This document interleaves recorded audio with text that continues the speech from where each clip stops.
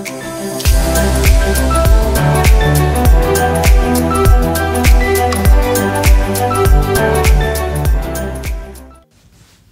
we are going to discuss about the construction of genomic libraries. So here comes a question that what is a genomic library? Let us understand by the fact that the genome of most of the organism is very large to deal with so it's more useful to cut it down into the smaller pieces so that you can deal with it with much more ease and this can be easily done by using different restriction enzymes now let's have a look on how do we make a genomic library.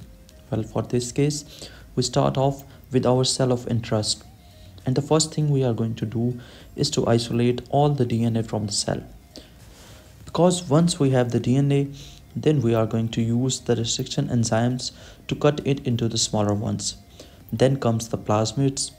A plasmid is very standard and easy way to get foreign DNA into bacteria.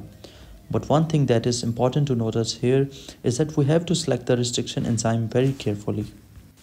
So in this case, we are going to cut up our DNA and the plasmid with the restriction enzyme. So once we have cut up the DNA and plasmid, now we need to ligate them together using DNA ligase. Once the cDNA is pasted into the plasmid, now we are ready to actually transform them into bacteria. It's mostly very easy to transform plasmids into bacteria.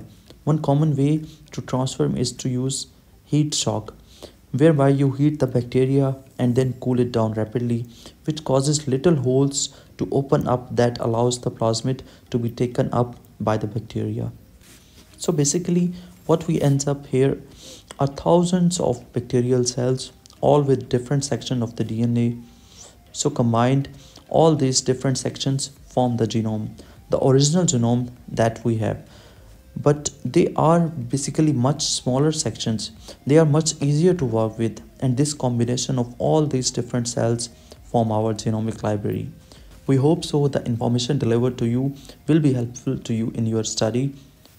Stay tuned with us for more interesting videos and lectures. Thank you